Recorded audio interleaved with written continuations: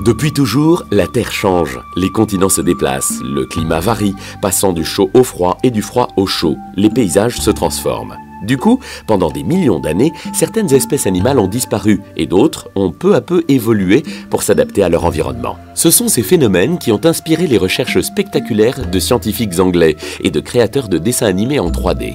Ils ont imaginé à quoi pourrait ressembler la Terre et les animaux qui la peuplent dans plusieurs millions d'années. À toi de partir à la rencontre des animaux du futur pour voir de quoi ils pourraient bien avoir l'air dans 5, 100 et 200 millions d'années. Sensation garantie. Bienvenue dans le futur. Nous venons de faire un bond de 5 millions d'années dans l'avenir. Tu vois, la Terre a beaucoup changé. Il y fait en moyenne 5 degrés de moins qu'aujourd'hui. Les prairies sont devenues arides et froides, et il y souffle un vent glacial. Une partie de l'eau des océans s'est transformée en glace, et la banquise recouvre même le nord de la France. Brr, c'est pas super accueillant par ici. Drôle de singe, ce baboukari. À ton avis, de quel animal qui vit aujourd'hui, au XXIe siècle, est-il le descendant? Le wakari, un singe qui vit dans les forêts d'Amazonie, est bien devenu un baboukari 5 millions d'années plus tard. Non, baboukari, descendant du singe wakari. Habitat, prairies arides et froides d'Amérique du Sud. Signe particulier, bien plus intelligent qu'un singe du 21e siècle. Le baboukari vit en Amérique du Sud. La forêt tropicale a fait place à une prairie sèche et froide sans aucun arbre. Ce singe fait partie d'une des rares espèces de primates à avoir survécu à cette période glaciaire. Il s'est adapté et est devenu plus fort, plus rapide et plus intelligent. Il a donc réussi à trouver sa nourriture au sol tout en échappant à ses prédateurs. Le baboukari mange de tout, insectes, poissons, plantes. On dit qu'il est omnivore. Normal, vu que son milieu de vie est plutôt désertique, il a dû s'adapter, sans faire le difficile. Très très malin et super agile, le baboukari se sert des hautes herbes sèches pour tresser des paniers. Il les plonge ensuite dans la rivière pour capturer les poissons dont il raffole. Le baboukari est bien plus intelligent qu'un chimpanzé d'aujourd'hui.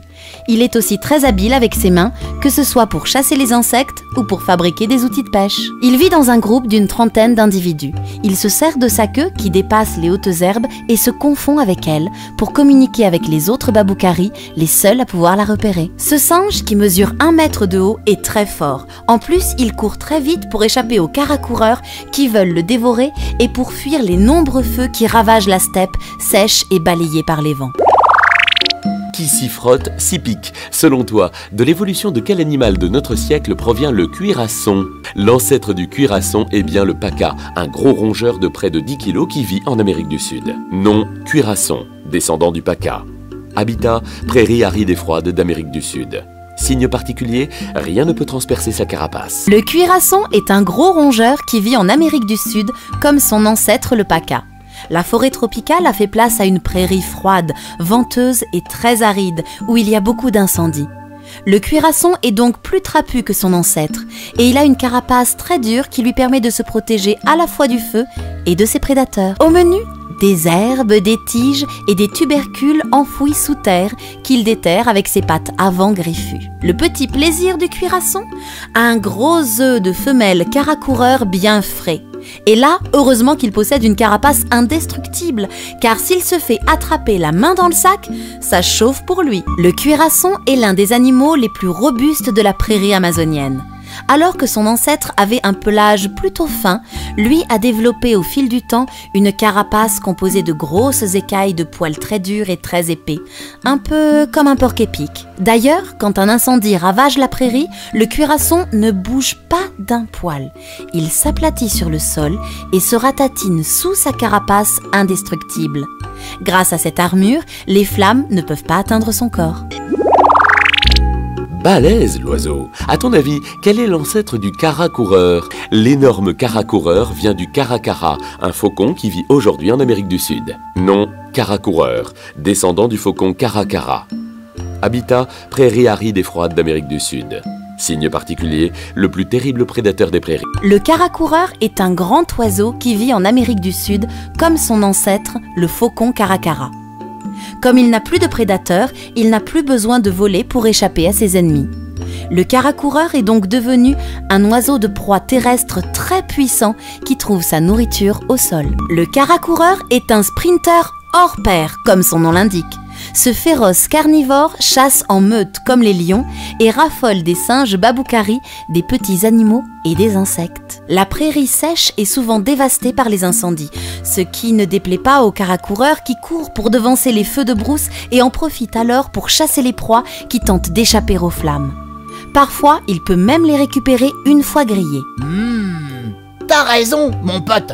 Un bon singe baboukari grillé, y a rien de meilleur. Le caracoureur mesure 2,50 m de haut et pèse près de 500 kg. Tu ne trouves pas qu'il ressemble un peu au vélociraptor préhistorique? Grâce à ses puissantes pattes arrière, c'est le chasseur le plus rapide des prairies d'Amérique du Sud. Il court à la manière d'une autruche en se servant de ses petites ailes avant pour s'équilibrer et attaque ses victimes brutalement avec son bec et ses griffes acérées. Tous aux abris, les belles plumes rouges, blanches et noires qui trônent au sommet de son crâne dépassent les hautes herbes de la prairie et lui permettent de retrouver ses congénères pour partir chasser en meute. Et s'il n'a pas de plumes sur le cou, c'est pour ne pas se tacher avec le sang de ses victimes. Le caracoureur est féroce, mais soigné. Jolie quenotte, la bestiole. Selon toi, quel animal peut bien être l'ancêtre du sabre des neiges? Le sabre des neiges est en fait le descendant des animaux de la famille des mustélidés, comme la loutre, la belette ou le glouton. Non, sabre des neiges, descendant des mustélidés. Habitat, toundra glacée du nord de l'Europe signe particulier, possède des dents tranchantes comme des sabres. En 5 millions d'années, il fera bien plus froid qu'aujourd'hui et la banquise aura gagné beaucoup de terrain. Elle atteindra même la France. C'est sur cette plaine glacée du nord de l'Europe que vit le sabre des neiges. De la viande, de la viande et encore de la viande. Le sabre des neiges est un carnivore féroce qui se nourrit de mammifères comme les rats à toison qui sont aussi gros que des moutons. Sur la terre gelée et aride où il vit, il y a peu de proies. Pas question alors de les laisser filer. Une fois qu'il a repéré sa victime, le sabre des neiges l'attaque par surprise. Il la blesse profondément avec ses canines tranchantes comme des sabres, puis l'empoisonne avec sa salive toxique. Pour survivre au grand froid, les mustélidés comme les loutres et les gloutons se sont peu à peu adaptés. Leur fourrure s'est épaissie pour les tenir au chaud et a blanchi afin qu'ils puissent se camoufler dans la neige et chasser le plus discrètement possible. Ils sont aussi devenus plus grands, plus gras et plus robustes, et leurs dents se sont développées. Résultat, le terrible sabre des neiges n'a plus aucun prédateur. Ouais, c'est ça Même pas peur Le terrible bug des neiges n'a pas de prédateur, lui non plus Et hop, faisons un grand bond dans le futur. 100 millions d'années plus tard. Notre planète a encore beaucoup changé. Le climat s'est considérablement réchauffé. Il fait en moyenne 5 degrés de plus qu'aujourd'hui et les glaciers ont presque tous fondu. Du coup, le niveau des océans s'est élevé et les eaux ont grignoté les continents qui, eux, ont pas mal bougé. À toi de partir à la rencontre des animaux surprenants qui y vivent. Quelle bestiole étrange Selon toi, de quel animal du 21e siècle le cochonnet des monts est-il le descendant? Le cochonnet des monts vient bien du pika, une sorte de petit lapin qui vit aujourd'hui dans les montagnes de l'Himalaya et d'Amérique du Nord. Non, cochonnet des monts, descendant du pika. Lieu de vie, grotte fraîche des grands plateaux d'altitude. Signe particulier, l'un des derniers mammifères de cette époque. Le cochonnet des monts vit sur les très hauts plateaux, près des montagnes, tout comme son ancêtre le pika, qui vivait dans l'Himalaya et en Amérique du Nord au XXIe siècle. C'est un des rares endroits où il fait encore frais sur Terre. Il passe la plupart de son temps à l'abri, dans sa grotte sombre. Figure-toi que ce doux mammifère attend qu'on lui apporte sa nourriture à domicile. Oh, quel fainéant Il se nourrit des graines que les araignées argentées stockent dans la grotte où il vit. Mais si elles le laissent profiter ainsi de leur butin, c'est parce qu'elles ont une idée derrière la tête. Quand le cochonnet démon sera bien gras, il servira à son tour de repas à leur reine. Donnant, donnant. Gloups Petite précision, les insectes à cette époque sont devenus immense. Imagine cette araignée argentée à la taille d'un ballon de football. Belle bestiole. C'est vraiment dégoûtant de se servir de sa gourmandise pour piéger autrui. Pauvre petit cochonnet démon. Le cochonnet démon est un survivant. Ce petit rongeur au pelage doux est un des derniers mammifères de cette époque. Son espèce survit car il se cache bien à l'abri dans les grottes où les immenses araignées argentées stockent les graines dont il se nourrit, mais aussi parce qu'il se reproduit à toute vitesse, comme beaucoup de rongeurs d'aujourd'hui. À ton avis, quel animal peut bien être l'ancêtre de ce joli petit oiseau? C'est d'oiseaux marins qui pouvaient vivre en Antarctique, comme l'albatros ou le pétrel, que vient l'oiseau crache-feu. Nom oiseau crache-feu, descendant de l'albatros. Lieu de vie, forêt tropicale. Signe particulier, peut cracher un liquide acide et brûlant sur ses ennemis. Dans 100 millions d'années, la banquise aura fondu. L'Antarctique aura dérivé vers le nord, une forêt tropicale y aura poussé, et surtout, il y fera très chaud. L'oiseau crache-feu est un des oiseaux marins de notre époque qui aura su s'adapter à ce changement climatique et qui peuplera toujours le continent. L'oiseau crache-feu se nourrit du nectar des fleurs qui sont abondantes dans la forêt tropicale où il vit. Et il croque de temps en temps un petit insecte pour le dessert. Pas si mignon que ça, l'oiseau. Il butine le nectar de certaines fleurs qu'il garde séparément dans deux poches au fond de sa gorge. Quand il se sent menacé, zou Ni une ni deux, il mélange les deux liquides qui deviennent alors toxiques et il crache cette substance acide et brûlante sur son ennemi, histoire d'avoir le temps de filer. Ah ouais Et là, comment tu fais, petit malin? Même pas peur Quel oiseau incroyable, ce grand planeur bleu. Selon toi, quel est son ancêtre? L'ancêtre du grand planeur bleu est bien une grue qui vit aujourd'hui dans l'Himalaya. Non, grand planeur bleu, descendant de la grue. Lieu de vie, grand plateau de très haute altitude. Signe particulier, possède deux paires d'ailes. Oh, même si le soleil y tape fort, il fait plutôt froid là-haut. Le grand planeur bleu passe son temps dans les airs, au-dessus des montagnes et des grands plateaux, à 10 000 mètres d'altitude. Pour trouver de quoi se nourrir sur les sommets, cet oiseau insectivore vole sur de longues distances. Quand il a repéré sa proie, il fond d'un coup sur elle. Son plat préféré? Les araignées argentées, de belles et grosses araignées de la taille d'un ballon de foot. Hum, miam Puis-je vous suggérer quelques crudités pour accompagner votre araignée géante, monsieur? Comme le grand planeur bleu passe presque toute sa vie en vol, il possède deux paires d'ailes. La première, qui est immense avec près de 15 mètres d'envergure, lui permet de voler pendant des heures. Et il utilise la seconde qui se déploie quand il écarte ses pattes arrière pour freiner. Pratique Quant à l'extraordinaire couleur bleue et brillante de son plumage, elle lui sert à réfléchir les rayons violents du soleil. Quelle grosse bébête Selon toi, quel est l'ancêtre de ce reptile géant? Ce gros tortunosaure est le descendant des tortues que tu connais aujourd'hui. Non, tortunosaure, descendant de la tortue. Lieu de vie, forêt chaude et marécageuse. Signe particulier, le plus grand animal ayant jamais existé sur Terre. Dans les forêts marécageuses, il fait un temps idéal pour que les reptiles se sentent bien. Très humide et très chaud, 40 degrés en moyenne. Du coup, certains sont devenus énormes comme le tortunosaure. Au menu, des feuilles, des plantes, de l'herbe, bref, tout ce qu'ils trouvent dans cette forêt luxuriante, mais en grande quantité. Le tortunosaure avale quand même 600 kilos de végétaux par jour. Balèze Le tortunosaure est tout simplement le plus gros animal ayant jamais vécu sur Terre. Il mesure 7 mètres de haut et pèse plus de 120 tonnes, 25 fois le poids d'un éléphant. Tu te rends compte? Vu sa taille, le tortunosaure n'a plus de prédateurs. C'est pour cela que ce descendant de la tortue a peu à peu perdu presque toute sa carapace.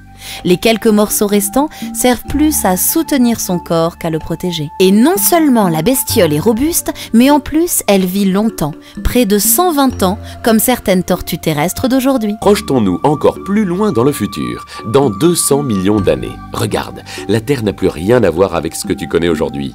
Tous les continents ont fusionné ensemble et il n'y a plus qu'un seul immense océan. Il fait froid et venteux sur les côtes et très chaud et sec à l'intérieur des terres. Les oiseaux et les poissons ont quasiment tous disparu. Part à la rencontre des animaux bizarres qui se sont adaptés aux conditions de vie extrêmes de cette époque lointaine. Waouh Voilà un animal digne de jouer dans un film de science-fiction. Selon toi, de quelle bête vivant aujourd'hui la pieuvre singe pourrait-elle bien être la descendante? Même si cela peut paraître incroyable, certains calmars ont quitté les mers pour vivre sur la terre ferme et se sont transformés 200 millions d'années plus tard en pieuvre singe. Non, pieuvre singe, descendante du calmar. Lieu de vie, forêt chaude et humide. Signe particulier, animal marin devenu terrestre. Comme il pleut énormément sur cette zone du continent, de grandes forêts humides et chaudes se sont formées. C'est dans cette végétation très dense que vit la pieuvre singe. Grâce à ses tentacules musclés, elle se déplace d'arbre en arbre et vit dans des abris qu'elle construit sur leur cime. La pieuvre singe se nourrit surtout de feuilles.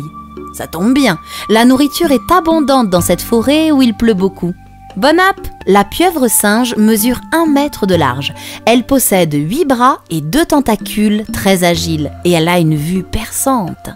Tout cela lui permet de se déplacer facilement à travers l'enchevêtrement de troncs, de lianes et de branches de la forêt. C'est aussi un animal très intelligent. Normal, pour se débrouiller dans un habitat aussi encombré, il vaut mieux savoir se servir de son cerveau. D'ailleurs, les pieuvres singes vivent en communauté, veillent les unes sur les autres et protègent ensemble leurs bébés des prédateurs. L'union fait la force. Malin. Selon toi, de quel animal vient le gigantesque calmar arc-en-ciel? Le calmar arc-en-ciel vient bien du calmar géant et il est devenu encore plus géant. Non, calmar arc-en-ciel, descendant du calmar géant. Lieu de vie, océan. Signe particulier, le plus grand animal de l'océan. Dans 200 millions d'années, il n'y aura probablement presque plus de poissons dans l'océan. À leur place, de grandes créatures étranges s'y développeront, comme ce géant qui mesure plus de 40 mètres de long et qui a des yeux de la taille d'un ballon de foot. Gloops, quelle futée ce calmar carnivore et très intelligent change de couleur et se camoufle dans l'eau pour ne pas effrayer ses proies. Quand elle passe à proximité, gnac il les saisit avec ses puissants tentacules et les dévore tout cru. Le calmar arc-en-ciel est le plus grand habitant de l'océan.